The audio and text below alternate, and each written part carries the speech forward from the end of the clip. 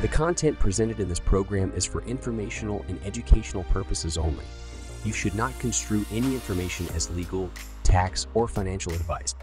Any information presented should never be used without first assessing your own personal and financial situation or without consulting a financial, legal, or tax professional. Well, I am honored to be here today. Thank you for spending your Saturday morning with us, and hopefully, I'll have an opportunity to answer any questions. So, we will have a mic in the back. If you have a question, question, please let us know, and we will bring the mic to you because we are also live streaming this. Uh, so, we are here this morning to talk about navigating college and scholarship ready. This is a parent's guide to unlocking opportunity. And we know in order to unlock opportunity, you need to have keys. And so hopefully you will leave today with a couple of keys to help you unlock some opportunities for your student. So I'm very excited to be here this morning. So I just want to give you an overview of our agenda for this morning. Uh, we're going to talk about college readiness. And I went and looked at many definitions of college readiness. So I want to give you a framework for what we'll be talking about today. Uh, we're going to talk about academic uh, exploration and preparation, extracurricular involvement, and how that plays into being college ready. And then part two will be preparation for scholarships. A lot of parents want to know when should you start applying for scholarships. Uh, we're going to talk about those components, the SAT, which is one of those keys that helps unlocks opportunities for our students. We're going to talk about Scholars Program and scholarship search engines and your scholarship, your student scholarship portfolio. So let's get started. So a quick write activity. And a quick write activity is just where you write down quickly uh, an, uh, the answer to this prompt. So list three, three dreams you have for your child 10 years from today. So take their age plus 10 years and think about a dream you have and dream big. I'll share one of my dreams that I have for my children. I dream that they don't live paycheck to paycheck. They have a career that they enjoy. And so think about a dream. And the difference between a dream and a goal, a goal has a date. Like to graduate high school, that's a goal. A dream is something that's big that you want them always to be aspiring to. I want my, my children to be responsible citizens. I want them to participate in a democratic process of voting. I want them to be educated voters. So think about your dreams you have for your students. And I, wanna, I want someone to share out. And students, I want you to think about dreams you have for yourself.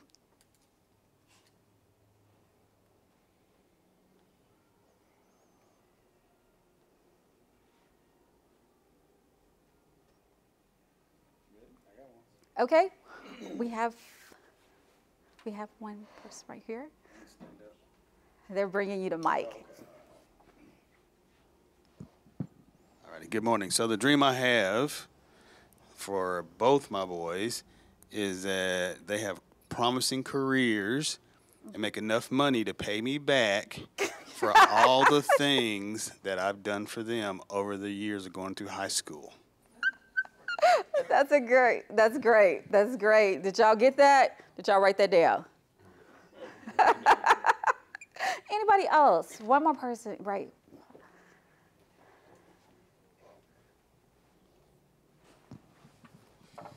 Okay, uh, I'll take a stab at it. Um, for me, uh, in, uh, in order of importance, financial security, freedom, Mm-hmm. Uh, second is able to impact the communities in which you, you live uh, and those that are challenged. Uh, third is uh, for her, this is my daughter, mm-hmm. Uh, to have the vision to uh, make a 40 year old decision and she's 18.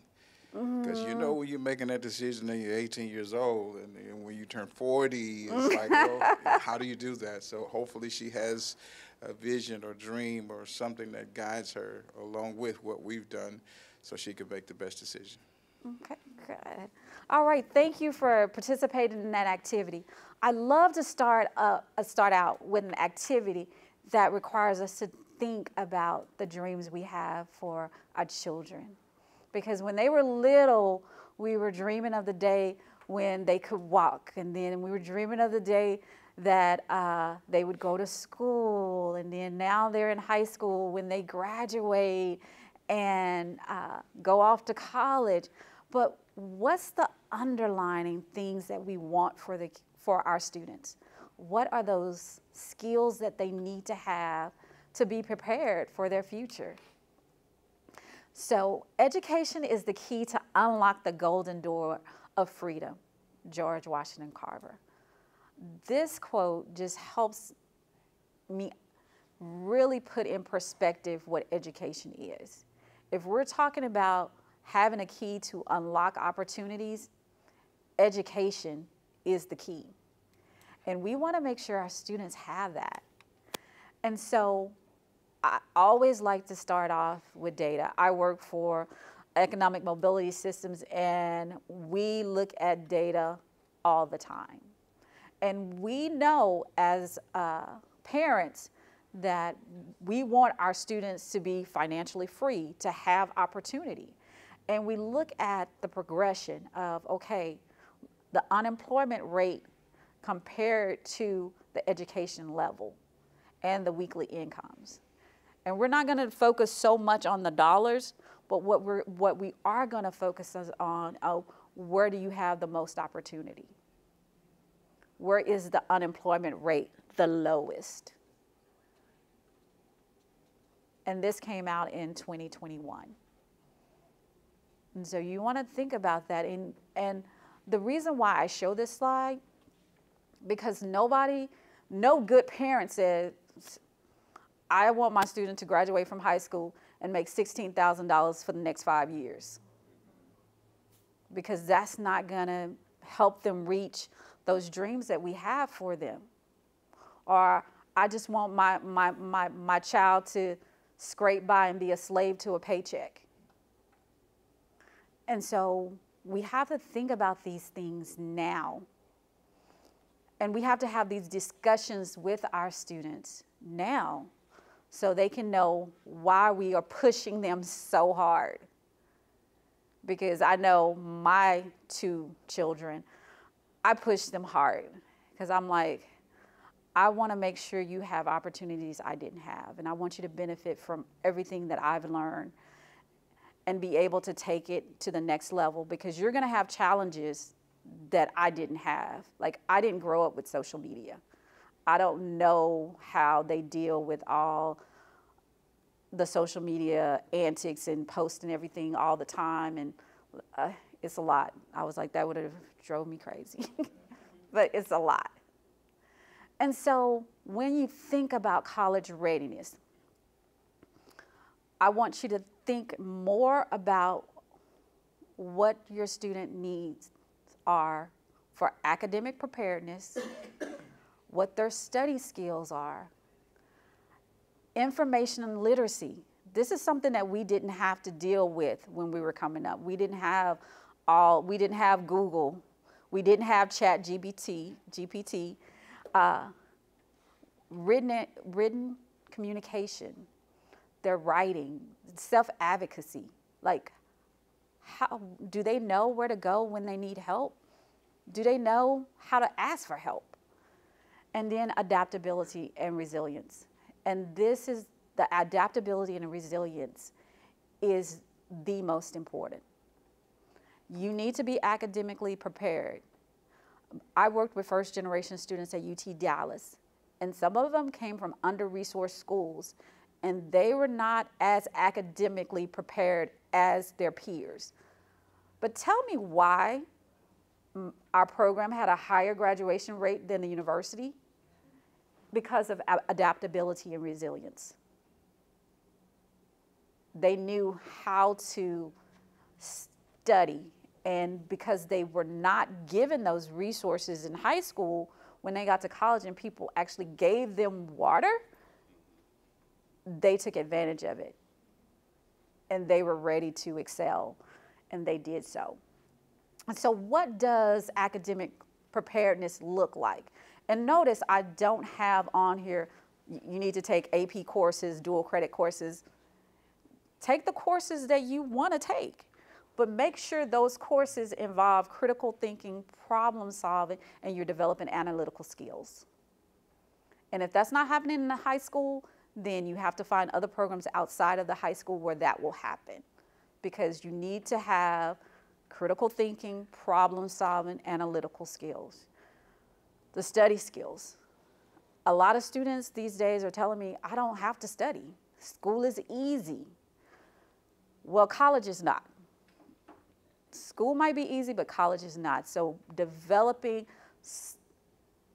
study habits, time management skills, note taking. Oh, I'm getting I'm getting some head nods back here. Would you like to share? Because you are just. Uh, well, I was definitely one of the ones that was like. The oh, mic. I was definitely one of those ones where I thought school was easy. In high school, I did. I never studied.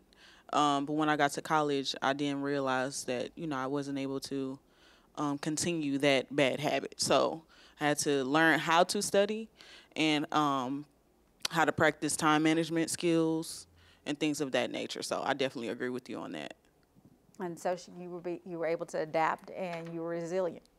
And again, practicing that now, like my my two children, they have crazy schedules. So I know they know how to do time management, but at college, I'm managing their time. I'm good at time management. But what happens when they go off to college? And so you have to think about these things and how do you help your child learn how to manage their time uh, wisely. Any questions? Yes, sir.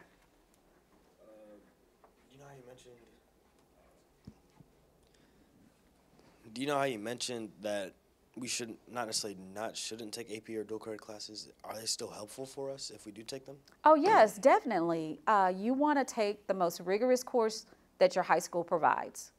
Like you want to take AP classes. You want to take if they offer AP uh, dual credit classes. You want to also check and see uh, uh, at the school with the counselor, like how is your AP teacher doing? Like are the AP students getting the three and four on those AP exams? They have that data, they have that record of what the AP teachers are doing because what you want is you want to be challenged.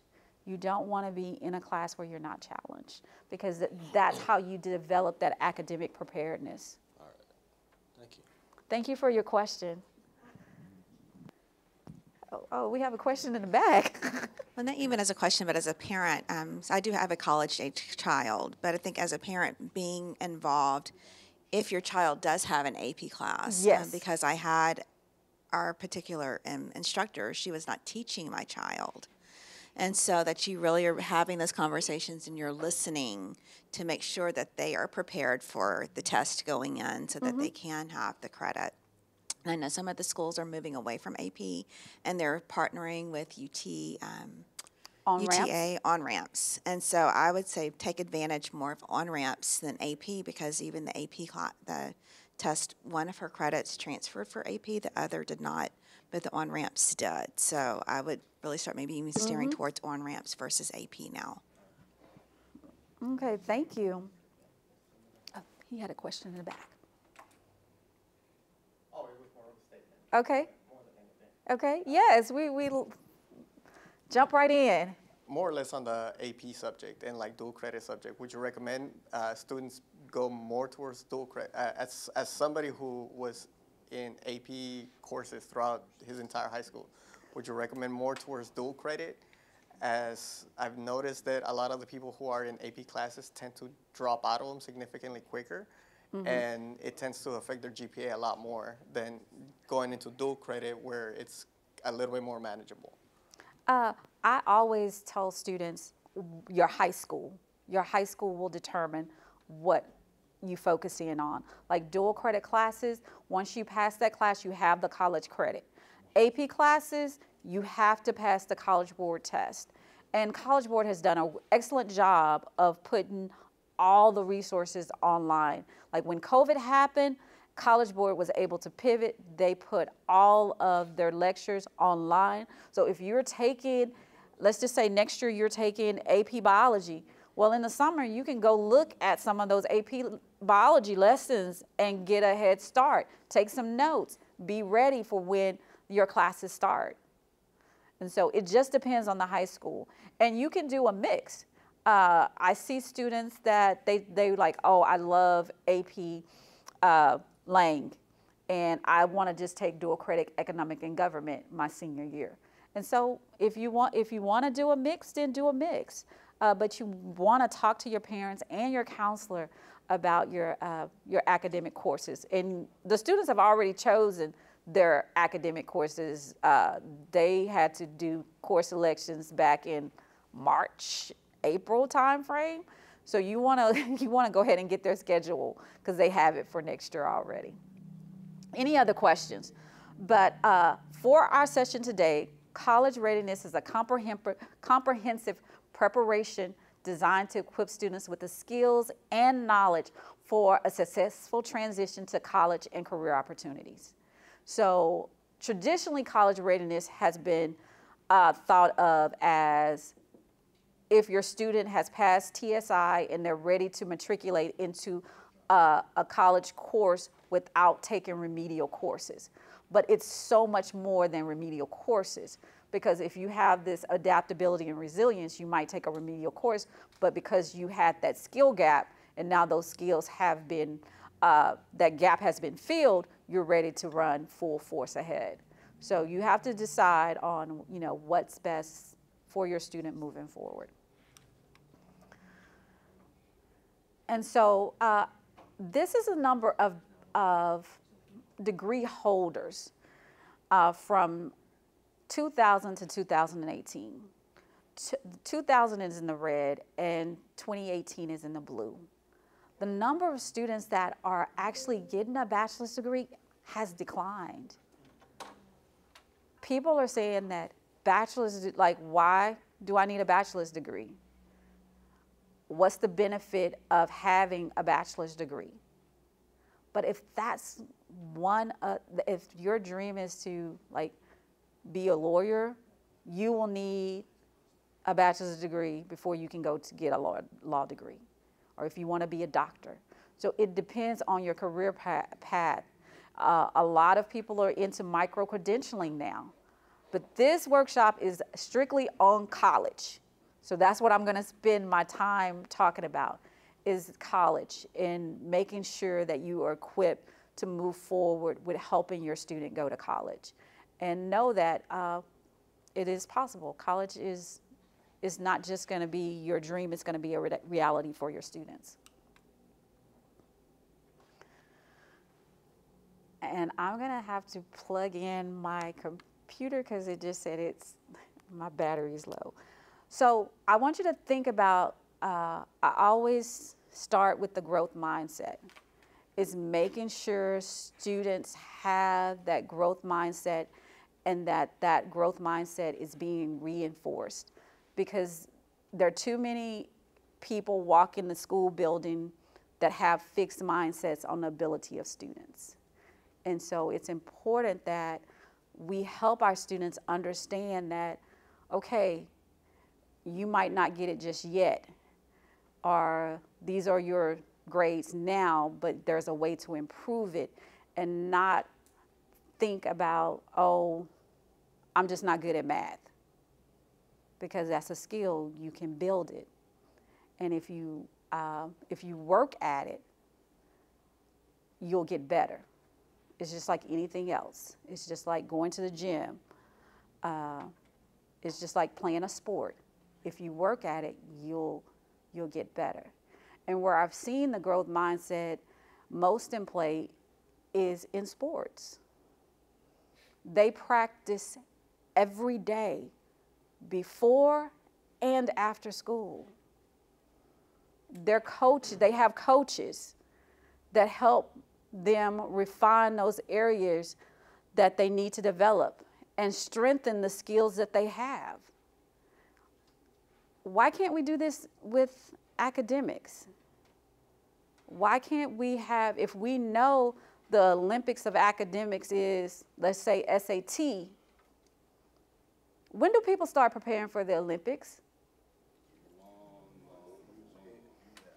Like, like Simone Biles. Huh? When did she start preparing to go to the Olympics? She was elementary? Four years, well, she started preparing when she was younger, but the Olympics are every four years. So Yeah. They start preparing as soon as the uh, Olympic end, they're already in preparation for the next set uh, of Olympics Uh, When did she have that dream? when she was a kid. So she, so how old do you think she was when she woke up and like, I'm going to the Olympics? When do you think? Yes. um, just watching her, I feel like she, you know gymnastics. They start as young as four years old, I believe. Okay. And what did her parents have to do to support that dream?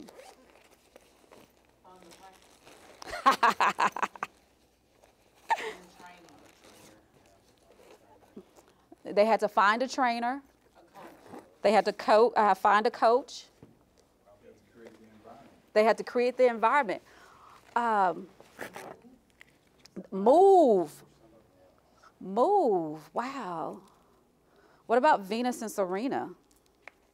Who had that dream? The Who dad for fulfilled sure. it? When did they start? And so, all I'm saying is, if you think about like, who has the dream? When is the dream realized? And who benefits from the dream? You say everybody? Richard Williams, it was his dream, but at the end, Venus and Serena, Oh, yeah. they benefited very well. Oh, yeah. And every generation after them, right? Correct. Right. And so, them open up doors for women of color that would not have been open. uh, they bringing you the mic because they want, want, those are some really great comments. it was Richard Williams' dream initially, but he had them open up doors for women of color that might not have been open at that time had he not had that dream for his daughters. And he put pressure and and things on them that they didn't want at that time, but it was very beneficial, like I say, for young girls and women of color. This needs to be plugged in. I can't reach. Uh, and so they had to have this growth mindset in order to continue to aspire to get better and be the best. And that's what our that's what we want for our kids. We want that aspiration to be inside of them. And not just for just academic preparation. Uh, we want it in them for going after their goals for everything. And so this is one of those things that I constantly stay on my two about. When they were like, oh, I can't do it, I'm like, is that the growth mindset that we are supposed to have? And so I love this quote because it's so real. We must prepare students for a future we can neither describe nor predict. And so I tell students, they were like, well, what should I, what should I major in? What do I need to do? I'm like, you have to find out where your interests are because nobody predicted there would be a COVID shutdown. This AI that, that's running rapid, that is going to create the future for the students in this room. How can they be aligned to take advantage of those new opportunities that AI is going to present? Uh, how can they research for cures for diseases we haven't invented yet? I know that uh, one of the big things in environmental science right now is sustainability. Like, how is the earth going to be able to sustain all the people that's on it? And so there are going to be a lot of new careers open up. Because I was thinking, when I graduated in 1994, everybody didn't have a cell phone. So programming a cell phone, programming apps on a cell phone wasn't even an option for me. Because if they they had cell phones, they hadn't made it to our community yet. You know, they had those big old car phones. Y'all remember those big, that with the carry case? Yeah, I showed my I showed uh, my daughter one of the phones, the rotary phones. She was like, "What's that?" Like you have to dial. You have to dial. Y'all don't even know what I'm talking about. That's okay. but do you see that there's a future coming, and we have to have our students have to be prepared to take advantage of the opportunities in a future that we don't know what careers will be on the rise. And I told parents that we can't prepare them for our present. Like, oh, just go and be an engineer. We have to prepare them for their future. And we don't know how that's going to look. But we know that there are some core values they need to have. And we know that there are some core skills they need to have. And we need to think about how we can help them along the way. And so I came up with um, just some things that students need to have mastered in each of these milestones. Like pre K through five is their elementary years. During elementary years, they need to master their literacy skills, numeracy, they need to be comfortable with the numbers. That creativity and imagination. I think that because they have these cell phones and devices now, that's something that's been lost with their creativity and imagination. Uh, I'm a Sunday school teacher, and I teach the three and four year olds. And you can give three and four year olds, you know, some blocks, and they will create castles and do a lot of different things. But when you have three and four year olds coming to you talking about, give me your phone. No, it's creativity and imagination time. Just, they just want, give me your phone. I'm like, no, we in Sunday school. No, you got, we gonna learn about Jesus because he loves the little children. Uh, our social skills. This is when they are developing social skills. Sixth through eighth grade, uh, collaboration and teamwork. Uh, this is when they usually find a sport that they, they're interested in and they'll stick with it. Um, pre-K through five, they might be going through several sports, except uh, the, the students that are getting involved in the football. When they in playing Pop Warner football, they usually play it all the way through high school. That's what I've seen. Uh, problem solving, uh, how to make social adjustments. Again, thinking about helping them be self-directed learners. Um, and in being a self-directed learner, they find something they're interested in and they teach themselves, whether it's how to crochet or how to program or how to play the guitar. But they find something that they love and they learn because it's out there because we have Google. You can pretty much learn anything. Ninth through 12th grade is career exploration. Uh, in Mesquite, Mesquite ISD, they have uh, a platform called Xello, and Xello has like the career assessments on it, and the students go in and take these assessments, and they tell them uh, different things. They take their learning style assessment. Uh, they also do that in uh, middle school as well. Uh, financial literacy, they need to know how to be responsible with money because that's a big thing when it's time for them to go off to college. They have to learn financial responsibility. And then doing their college research, finding out what's going to work for them, the best fit college, with the best financial uh, aid and scholarship plan. Any questions about uh, the preparation for opportunity? And notice I didn't say I on here again, I don't have a list of classes that they need to take because they can learn these skills outside of school. And that's, you know, They spend a lot of time in school, but we know all schools are not created equal. And so if they're not getting it at school, they have to get it somewhere. And we want to make sure that we are thinking about some of the places that they can get these skills. And again, I told you I was a Sunday school teacher, and some of these skills are developed in Sunday school when they are asked to be a part of Christmas programs, Easter programs. Uh, they are forced to get out of that comfort zone. And I, I always say, not enough students are at Sunday school. They're missing some key lessons. Uh, but there are also other places, the Girl Scouts, the Boy Scouts. Uh, there are a lot of different programs. Yes. She's bringing the mic.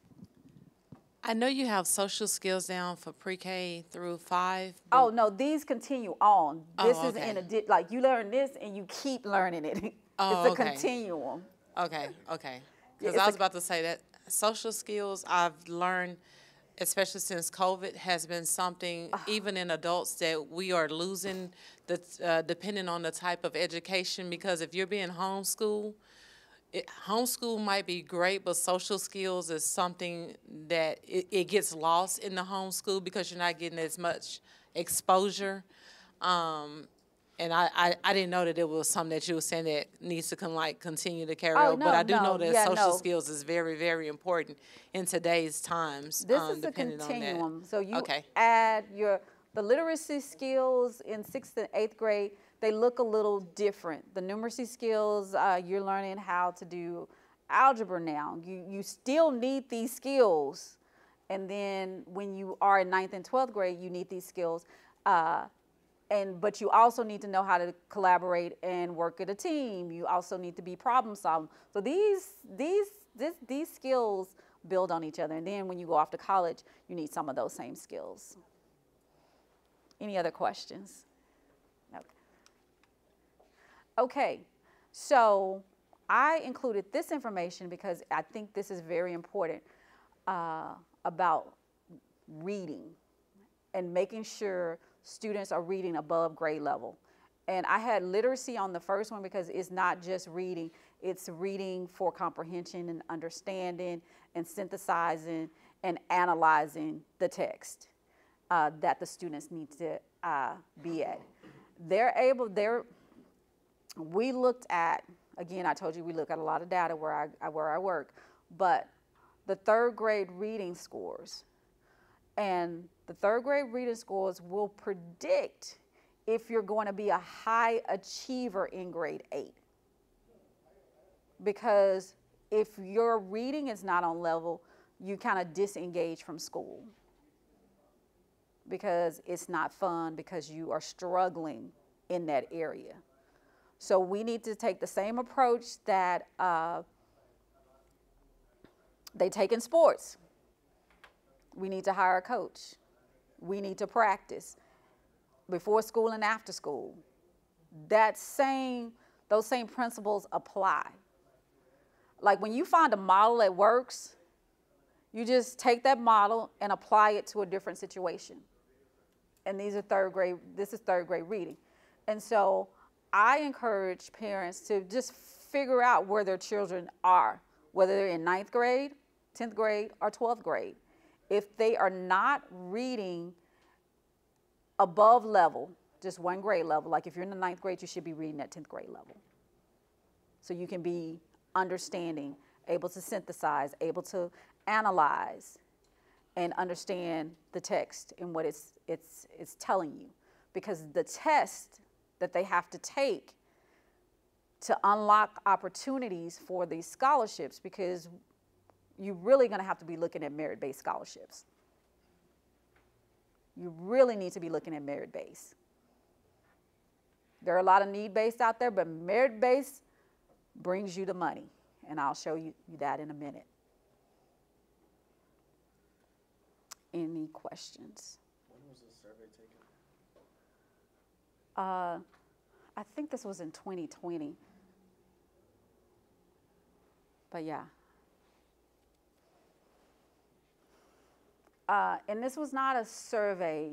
They took the the test scores of all third graders, and they looked at them over. Uh, it was a longitudinal study that they looked at until they got into the eighth grade to see who was who was at the top of the class and they went back and looked at their third grade. Now districts do, districts do this all the time. They look at what year do students start taking STAR test? Third grade. And so they have all of this data that they have and they can they can pretty much predict who's going to be successful in school based on those third grade STAR tests. And then they decide, like, okay, if you were in this percentile, if you were in the 71 80 percentile, we're going to give you additional opportunities to have uh, exposure. If you're in this 81 90, we're going to put you in gifted and talented. If you were in, in the 11, these two percentiles, we're going to pull you out of class and make you read while all your other friends are in class learning different things. We're going to do interventions. They call them interventions. And I'm like, y'all, these interventions are not working. Because who wants to be pulled out of class to go and read in the library when, when you think everybody's having a party in class? And so I know when I was in Grand Prairie, we were looking at ways to have students engage in a software platform that would allow all readers to start at their level and level up, especially in the uh, uh, earlier grades. Uh, summer learning. It's important to, I, I, was saying, like, you can't depend on, uh, I gotta, I gotta speed up, y'all. I'm sorry. I'm taking my time, but I'll, I'll, I'll go faster because it's almost time. So summer learning, uh, again, I was saying self-directed learning. You want to make sure students have opportunities for self-directed learning. There are a lot of different programs out there. I didn't list them all. Um, uh, but Khan Academy is an online program to help them with any of the math skills that uh, they need to look at. Uh, edX is a wonderful resource. They offer free online courses from uh, Ivy League schools that they can go to go through. And these are six-week online courses. They don't get credit for it at the high school or anything, but if they're having problems in writing or they need extra support in any of, they, they even have a college readiness course uh, at edX that uh, for parents. It's like a a five to six week class. I'm not for sure exactly how long the class is. But Dallas Summer has a reading program for the younger students, but um, AP has a reading list for the students. There's an AP reading list for every grade level. And so you can go to College Board and look at or contact the AP department at your school to find out what that reading list is. And read those books so you can know what's, you know, what's going on because it's, it's like uh, all the students across the nation are reading these books. Well, they're supposed to be reading these books. uh, the Dallas Museum of Arts uh, has a, uh, well, it's free. You, they have workshops and, and things for the younger, younger students. And so uh, thinking about what does your family like to do during the summer to encourage learning? Like what, anybody would you like to share? Like, what does your family do to encourage learning? I can share one of the things that we did when, the, uh, when my children were smaller. We had a park research project. So we would go to all the parks to see which was the best park in Dallas. And, and just kind of on a scale of one to five, we would rate the parks just to see it was something fun to do, and uh, it made them think, because again, we need they need to think about stuff. Yes. So during the summer, um, I have twins. Um, so during the summer, we used to enroll. I used to enroll them in uh, Dallas summer reading programs, uh, as well as the uh, the Soto reading programs, and they like going different places. So in order for us to go to the Ranger games, in order for them to get like free. Uh, Chick Fil A coupons or whatever the favorite place was, I would look at what the prizes was. So they used to have to read Yeah. um, read the books, and then they would have to log in the books, and then we would go to the library, and then we would spend time on the computer, and then as they reap the rewards, like we went to Dallas Stars um, rink, and they was able to ice skate for free, um, different things. We went to the museum, we went to the Ranger game, so it got to the point where every summer they were looking forward to these these rewards, but at the same time they were learning. So it was kind of like I'm I'm teaching you and I'm I'm pushing you without the pressure of always being on the back on their backs. And then they were enjoying the computers. And then we were also building relationships to the point where they liked the library. So it was like, well, can you take me to the library? And then I was able to drop them off at the library and they could engage with the librarians without being supervised. Okay, that's that's a really great uh, way to spend summer. Yes, Miss Mayo. Question, did you set the incentives, or did they come with the program? Are those, Yeah, they came with the program. oh, okay. Yeah, they come with the program, which is great. Uh, here are a couple of career exploration websites that uh, students can uh, engage in over the summer. Um, Navigate um, is a program that is provided uh, by the Dallas Fed, and it's actually a little curriculum that they can go to, and it's a little workbook that they can work through online. Big Future by College Board. Uh, College Board has some really great resources for student and parents. Uh, they have resources for college exploration as well. Uh, college Forward um, is a website, uh, and I really love this one because they have Texas Reality Check. And the Texas Reality Check allows students to go in and put down what type of house they want, what type of car they want, how they want to live, how often they want to shop. And it tells them how much money they need to be making in a year to live that lifestyle. And I love it because they're like, and I'm like, mm, you're not going to be making 85,000 out of fresh out of college unless you're doing a career that's really in high demand. So you might want to think about all these things you want. But Texas Reality Check is a really great resource. And Career One Stop is uh, the U.S. Department of Labor. Uh, they have a wonderful exploration too. They have uh, career assessments and pro career profiles on it. So this, these are great websites uh, for, uh, for you to explore with your student.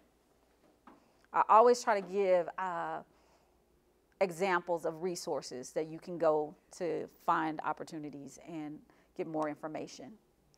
Uh, extracurricular activities. So again, we're talking about being college ready. So you want to make sure that your student is engaged in extracurricular activities because it helps to develop that leadership that you want them to have. It encourages the teamwork. Uh, it's a great way for them to be involved in the community um, and build self-confidence. Some of the programs that I listed here are national programs, uh, and some are, uh, might be at your school. But what I like about these organizations, they also offer scholarships, and they have opportunities for local, regional, and national uh, leadership positions. So they elect officers. Uh, I recently went to a DECA competition at the state level. It was at the Hilton Anatole. All the DECA students from across the state were there. Uh, and it was it was so many students. It was amazing. I was like, this is great. This is this is great exposure, great networking, uh, great opportunity for them to be engaged. And these organizations are also uh, at the collegiate level. They have uh, high school components, and if it's not at your high school, some of them have chapters that you can join, uh, like uh, the National Society of Black Engineers. They have junior chapters, and you could be a part of uh, their junior chapter. So I say look into a career and technical uh, student organization uh, because it it give you it gives you the opportunity to explore some of your career opportunities. I do not know exactly what it stands for. It's, it's, it's one, it's, it's related to the business pathway. That's all I can tell you about DECA. I don't know exactly what it stands for, but it, it, it, it's an opportunity for, uh, for them to meet other students and network. Uh, the Presidential Volunteer Service Award. This is an opportunity that some school districts have where they will give awards based on the number of community service hours that the student completes. And if your school doesn't do it, if you're a part of the CTSO, they will they also award the Presidential Service Award. If you're not a part of a CTSO, Girl Scouts and Boy Scouts, they also. And uh, I am going to work with my church, uh, Ms. Mayo, to make sure that we can offer Presidential Service Awards to our youth. Because you, you, all you have to do is become a certified organization. And that means that you will certify the volunteer hours and you will you can then have access to order the awards. I bought this program the grand prairie isd and they now are uh, encouraging students to be involved in the community and give back and so if you uh, complete 100 hours uh, you receive a gold award and the Gold Award is a gold medal and a signed letter for President Biden. That's what the students received. Yeah.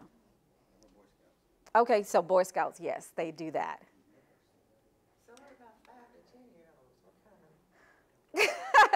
They do little things. The five to 10, 10 year olds, they still can volunteer, they can help clean up. Uh, yes, and so uh, the big future ambassadors, they are, this is a, a program through College Board that they can enroll in independently at their school, uh, even if their school doesn't have this. Uh, and they become part of a network of students around the country that promote uh, the scholarships of College Boards, which range from 500 to $40,000. And again, it's not income restricted. Okay, part two, and we're gonna have to go a little faster. It's preparation for scholarships. Parents want to know what SAT score does my child need in order for them to get scholarships? Where do we need to be? We need to be at the competitive score level. The competitive score level is 1200, 13, 20. That's where you need to be. When can students start taking SAT? Hmm?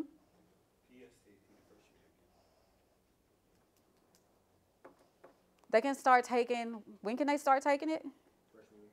Freshman year? They can start taking it at seventh grade. Freshman year. Uh, but they only, the scores are only good at four years. I found out that there was a private school that was giving the SAT to their students every year until they reached that competitive score. So if they got that competitive score in ninth grade, they didn't have to take it again. And guess what? They wanted that competitive score in ninth grade, so they wouldn't have to take it again. And uh, and they would be set for senior year. But most colleges super score, and super score means that they will take your highest score in math from a test you took at 10th grade when you had a really great math teacher, and your ELA scores from your junior year when you had an outstanding ELL, ELA teacher that had a master's degree. And so they will take scores from different years. And so I encourage parents to test uh, their students to, just to see where they are. Test the students just to see where they are. And because these scores matter, because these scholarships Scholars programs matter. Scholar programs are four-year programs that come with mentorship and internships.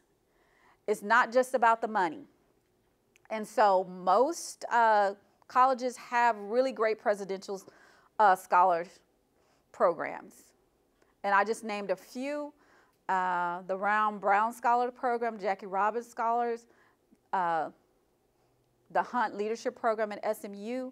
Those are all great programs with all great uh, incentives to do well, right? Those some good incentives? scholarship search engines. Uh, scholarship search engines will allow you to look for scholarships starting as early as ninth grade for your student.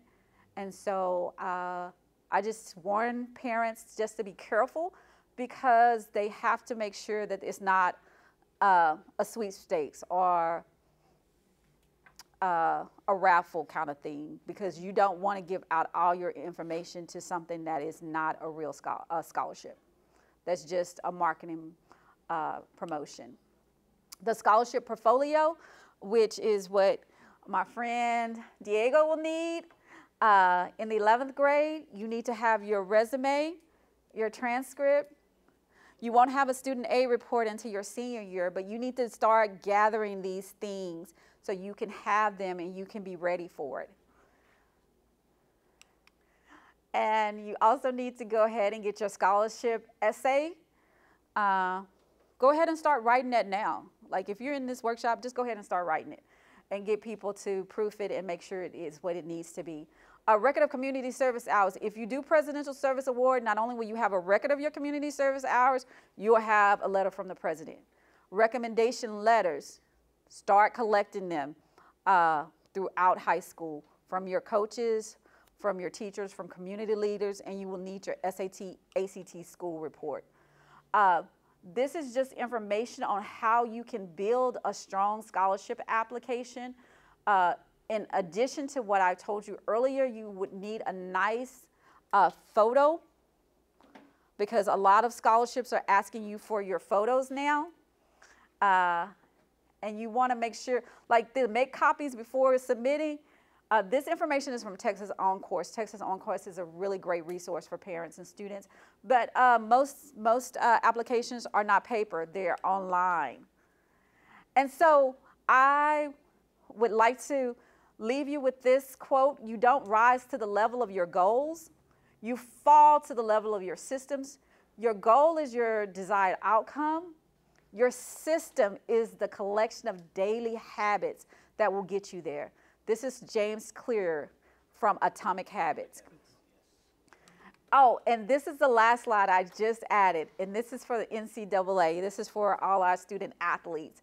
It is just the outline of what you need to be doing each year to be ready for, uh, to ready to play sports uh, during your college time. And so I would like one person to share some takeaway that you had for our time together today. Just, okay? A, um, a large takeaway for me that I'd like to share and try and pass on to my kiddos every day is the growth mindset versus a fixed mindset. Yes. Extremely important. Extremely important. All right. Thank you. Thank you. Uh, any questions? All right. Well, thank you so much. This is my uh, email information. I will be around a little bit afterwards. If you have any questions, I would love to stay and answer them. Thank you for spending your time with me this morning. Thank you. Thank you so much. Thank you for watching our Empower Series YouTube video. I really hope you enjoyed it. Remember to hit the subscribe button below, as well as the little button to be notified the next time we upload our video. Until then, Stay connected with us on social media Facebook, Twitter, Instagram, whatever your social media flavor is. Inspire the world to thrive. See you soon.